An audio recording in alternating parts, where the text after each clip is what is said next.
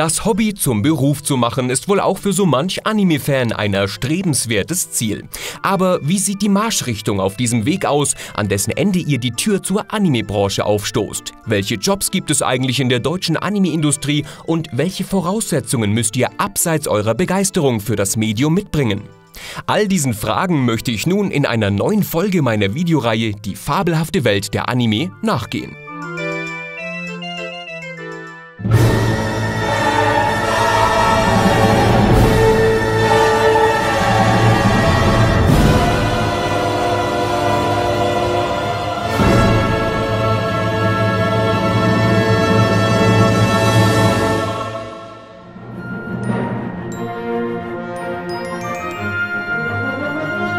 Eines schon mal vorwegzunehmen. Bestimmte Referenzen oder Skills sind zwar, wie in nahezu allen Berufen, hilfreich, jedoch kein Freifahrtschein für eine Anstellung. Eure Chancen im Anime-Umfeld Geld zu verdienen, erhöht ihr jedoch mit einem abgeschlossenen Studium in der Tasche auf jeden Fall. So wühlen sich die Lizenzeinkäufer der Publisher beispielsweise regelmäßig durch komplexe Vertragsverhandlungen mit den japanischen Rechteinhabern. Naheliegend also, dass in diesem Bereich ohne wirtschaftliche und juristische Kenntnisse rein gar nichts geht. Um die anfallenden Lizenzkosten und alle damit verbundenen Ausgaben realistisch einschätzen zu können, sind ökonomische Kenntnisse zwingend erforderlich. Der japanischen Sprache mächtig zu sein übrigens nicht, auch wenn das natürlich ein echter Pluspunkt sein kann. Und zwar bereits im Bewerbungsgespräch als auch später im Dialog mit den japanischen Ansprechpartnern. Kriegsentscheidend ist es jedoch nicht. Bevor die Tinte der Parteien auf dem Lizenzvertrag trocknen kann, sind natürlich zunächst viele Arbeitsschritte erforderlich. Der erste ist die Recherche.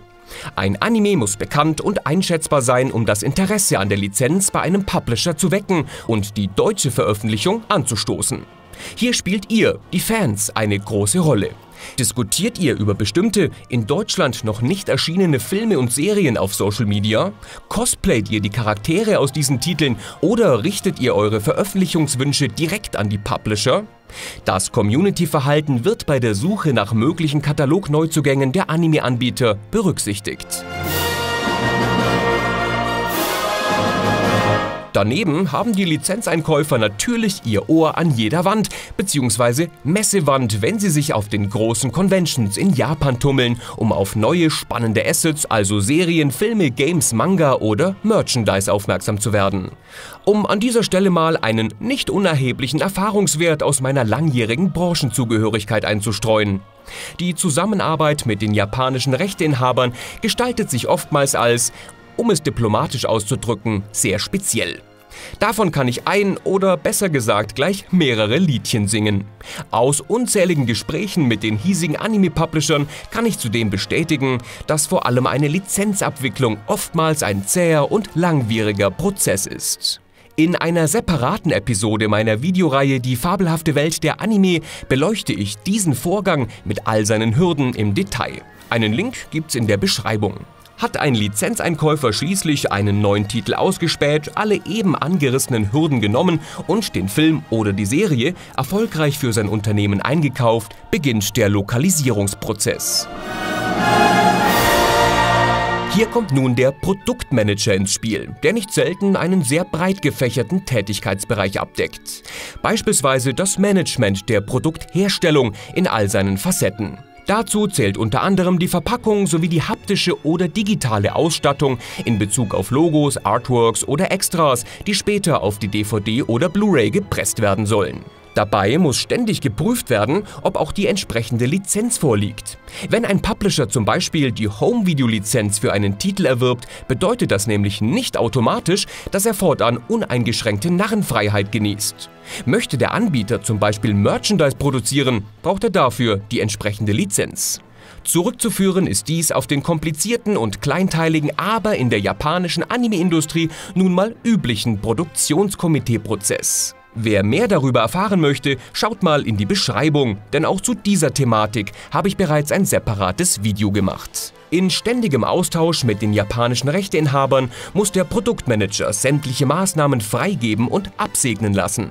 Auch in Bezug auf Übersetzungsfragen, beispielsweise im Zusammenhang mit dem Dialogbuch bzw. der Synchronisation eines Animes, ein Bereich, auf den ich im Laufe des Videos noch genauer eingehen werde. So gilt es zu klären, welche Namensschreibweisen korrekt sind, für Deutschland übernommen oder geändert werden sollen oder ob vielleicht bereits eine deutsche Übersetzung vorliegt, da der Titel schon im Simulcast ausgestrahlt oder in Manga-Form veröffentlicht wurde.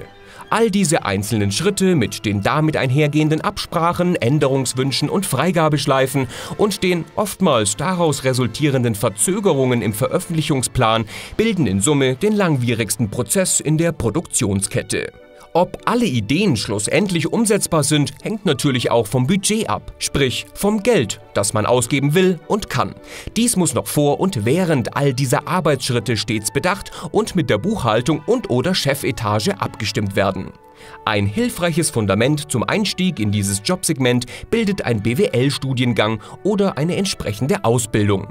Im Normalfall beginnt ihr eure Karriere als Junior-Produktmanager und arbeitet euch dann zum Senior hoch.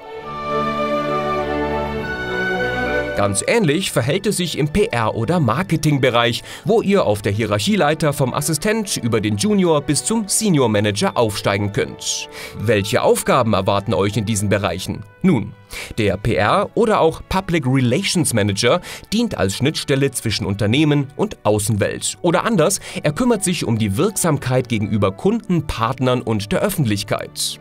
Ein Marketingmanager ist hingegen für eine attraktive Positionierung und Präsentation der Produkte des Unternehmens im Markt zuständig, um die potenzielle Zielgruppe, also Kundschaft, bestmöglich zu erreichen. Zu diesem Zweck werden spezielle Marketingstrategien entwickelt. Das heißt, er bucht Werbung im Internet, TV und in Magazinen oder zurrt Kooperationen mit anderen Unternehmen fest. Beispielsweise gemeinsame Social Media oder Convention-Kampagnen für bestimmte Anime-Filme oder Serien. Dabei kümmert sich der Marketingmanager auch um die Freigaben von Werbematerialien wie Anzeigen oder aber Aufsteller, Flyer und Messestände für Convention-Auftritte. Auch hier gehört der regelmäßige Austausch mit den japanischen Lizenzgebern zum täglich Brot. Zudem geht mit diesem Tätigkeitsbereich eine gewisse Budgetverantwortung einher. Ob nun für plattformübergreifende Werbekampagnen oder Veranstaltungen wie Con-Panels oder Screenings. Dabei pflegt ihr einen kontinuierlichen Kontakt zum Kunden, japanischen Ehrengästen, aber auch Leuten wie mir, also den Journalisten. So plane ich in Absprache mit den hiesigen Marketingmenschen regelmäßige Gewinnspiele, Unboxings, Werbeplatzierungen oder redaktionelle Berichterstattung und erfahre von den entsprechenden Mitarbeitern der Publisher vertrauliche Infos aus erster Hand. Der Umfang und die Priorisierung der Marketingmaßnahmen, Strategien und Konzepte steht und fällt dabei stets mit der Gewichtung eines Animes. Je größer ein Franchise, desto mehr Zeit und Geld wird investiert.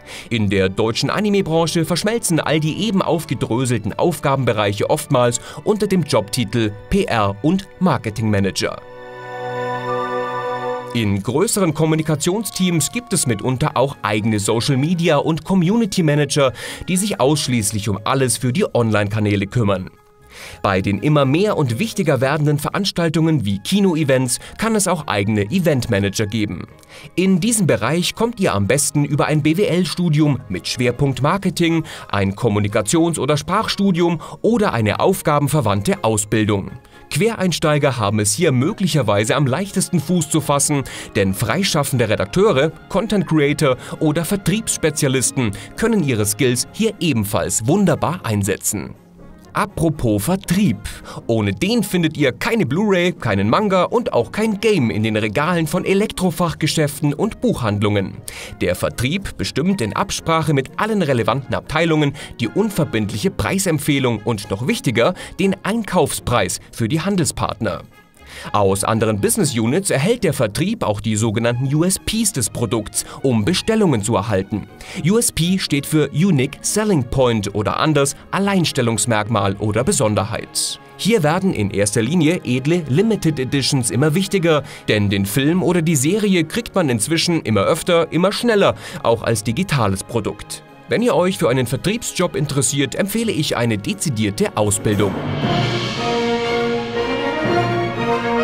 Einen weiteren großen Part in Bezug auf eine berufliche Tätigkeit in der Anime-Branche bildet das Feld der Synchronisation. Die Koordination selbiger, also zum Beispiel die Wahl der Studios oder der Sprecher, fällt bei einigen Publishern in den Tätigkeitsbereich des Produktmanagers, bei anderen wird selbiger lediglich in Entscheidungsprozesse mit einbezogen, während es auch Unternehmen gibt, die für dieses Segment ein separates Team abstellen. Zunächst muss das Dialogbuch erstellt werden. Nach dem Zuschlag für ein Projekt erstellt der Dialogbuchautor auf Basis der Rohübersetzung ein, in Anführungsstrichen auf Mund geschriebenes Dialogbuch, das im Idealfall anders klingt als die Untertitel. Schließlich spricht man anders, als man schreibt oder Untertitel liest. Währenddessen kontaktiert der Aufnahmeleiter nach Absprache mit dem Synchronregisseur eine Reihe von Sprechern und fragt die Verfügbarkeiten ab, bucht Termine ein oder lädt zu einem Casting. Der Regisseur spricht sich dabei wiederum mit dem Auftraggeber, also dem Publisher ab. Der Dialogregisseur ist übrigens nicht selten auch der Dialogbuchautor oder sogar zusätzlich selber Synchronsprecher. Ein prominentes Beispiel hierfür wäre zum Beispiel Yannick Forstenhäusler, der bei One Piece schreibt, gelegentlich spricht und Regie führt. Dabei brieft der Regisseur die Sprecher und informiert sie über die jeweilige Rolle, die Thematik des Animes oder die generelle Stimmung und Atmosphäre des Titels. Und du musst nur noch ein bisschen schlechter lügen an der Stelle. Okay. Und mach die Laute nicht zu lang. Nicht selten legt der Regisseur auch fest, wie Namen und Begriffe ausgesprochen werden. Schaut euch hierzu gerne mein Video von meiner Rolle in One Piece an. Da erlebt ihr hautnah, wie mir Regisseur Yannick Anweisungen gibt, mich brieft und unterstützt. Einen Link findet ihr in der Infobox. Und wenn er den Mund zumacht, machst du deinen auch zu.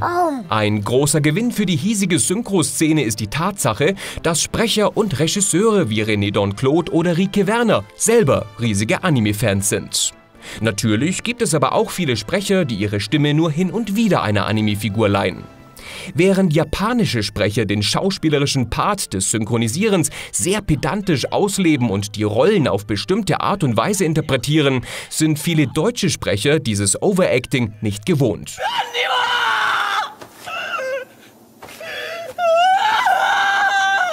Dennoch möchten die Sprecher euren Wünschen und Vorstellungen stets gerecht werden. Auch wenn die Abneigung gegenüber deutscher Synchro in den letzten Jahren etwas abnahm, finde ich, dass man mit vielen Synchronsprechern im Anime-Bereich oftmals noch immer zu hart ins Gericht geht. Meiner Meinung nach gibt es nämlich zahlreiche fantastische Sprecher und hervorragend vertonte Anime-Filme und Serien. Konstruktive Kritik ist gut und kann anspornen, Gehate frustriert jedoch eher und führte in der Vergangenheit auch schon dazu, dass bestimmte Sprecher das Anime-Segment mieden.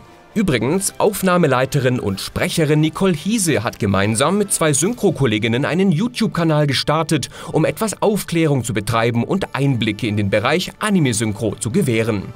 Den Kanal verlinke ich euch in der Beschreibung. Wir hoffen, ihr habt Spaß mit unseren Videos und wenn ihr Wünsche oder Anregungen habt, lasst es uns wissen. Um Synchronsprecher zu werden, empfiehlt sich eine klassische Schauspielausbildung.